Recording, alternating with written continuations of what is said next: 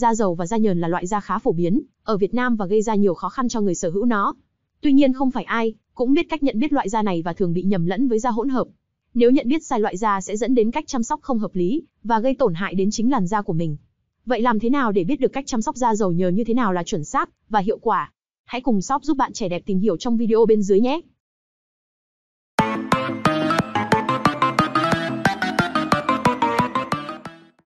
Hiện nay có nhiều chị em đang rất hoang mang không biết mình có phải là tiếp người thuộc loại da dầu nhờn hay không.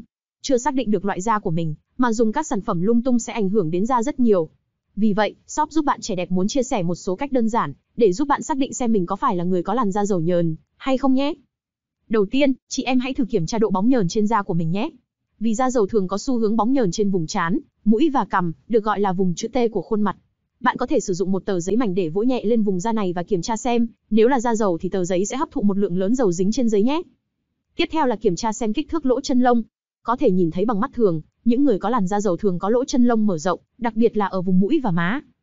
Cuối cùng là bạn hãy thử cảm nhận xem cảm giác tạm thời sau khi rửa mặt. Nếu sau khi rửa mặt, bạn cảm thấy da trở nên sạch sẽ và sảng khoái, nhưng sau một thời gian ngắn da trở lại bóng nhờn, có thể bạn có loại da dầu đấy nhé.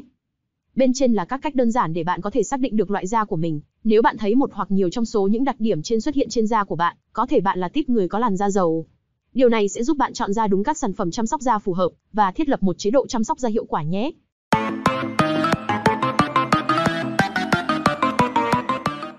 Chăm sóc da dầu theo các bước khoa học và hiệu quả có thể giúp kiểm soát dầu thừa, giảm bóng nhờn và ngăn ngừa tình trạng mụn.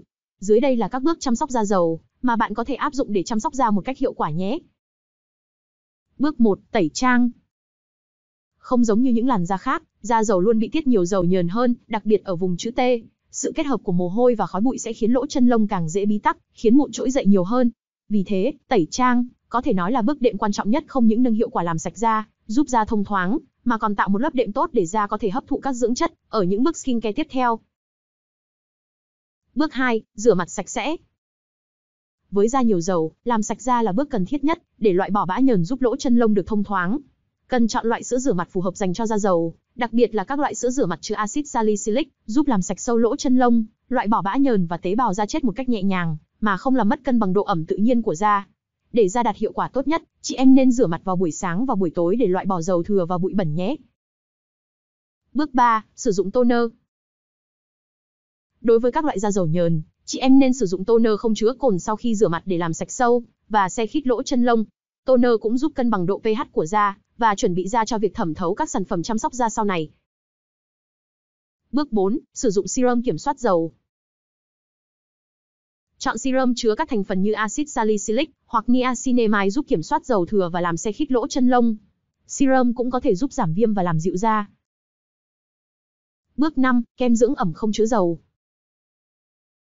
Chọn kem dưỡng ẩm dạng gel hoặc lâu sừng nhẹ nhàng không chứa dầu để giữ ẩm cho da, mà không gây bít tắc lỗ chân lông. Đảm bảo rằng kem dưỡng ẩm chứa các thành phần làm dịu da và chống viêm. Sử dụng kem chống nắng hàng ngày, dù da dầu cũng cần bảo vệ khỏi tác động của tia UV. Sử dụng kem chống nắng không chứa dầu, hoặc có kết cấu nhẹ nhàng để bảo vệ da khỏi tác động của ánh nắng mặt trời. Ngoài những bước chăm sóc da dầu thực hiện hàng ngày ở bên trên, chị em cũng nên lưu ý tẩy tế bào chết định kỳ nhé. Với những người da dầu, nên sử dụng một sản phẩm tẩy tế bào chết nhẹ nhàng hàng tuần để loại bỏ tế bào da chết và ngăn chặn tắc nghẽn lỗ chân lông nhé. Trong video ở trên, shop giúp bạn trẻ đẹp đã chia sẻ về loại da dầu nhờn và cách nhận biết nó qua các đặc điểm như bóng nhờn, lỗ chân lông mở rộng và xuất hiện của mụn. Đồng thời, shop cũng chia sẻ một số cách chăm sóc da dầu nhờn một cách hiệu quả và khoa học. Và hãy nhớ rằng việc chăm sóc da dầu nhờn đòi hỏi sự kiên nhẫn và đều đặn. Bằng cách tuân theo các bước chăm sóc da khoa học và sử dụng các sản phẩm phù hợp, bạn có thể duy trì làn da khỏe mạnh và giảm thiểu các vấn đề như bóng nhờn và mụn nhé. Hãy cùng theo dõi shop giúp bạn trẻ đẹp để biết thêm nhiều mẹo giúp bạn trở nên tươi trẻ và dạng người hơn. Bên shop giúp bạn trẻ đẹp mình cũng có bán những sản phẩm làm đẹp, dưỡng da chính hãng. Shop mình cho bạn kiểm tra hàng trước khi nhận, để đảm bảo bạn không bao giờ bị lừa mua phải hàng giả. Bạn có thể nhắn vào Zalo số 0376102822 bên dưới để được nhân viên tư vấn kỹ cho bạn nhé.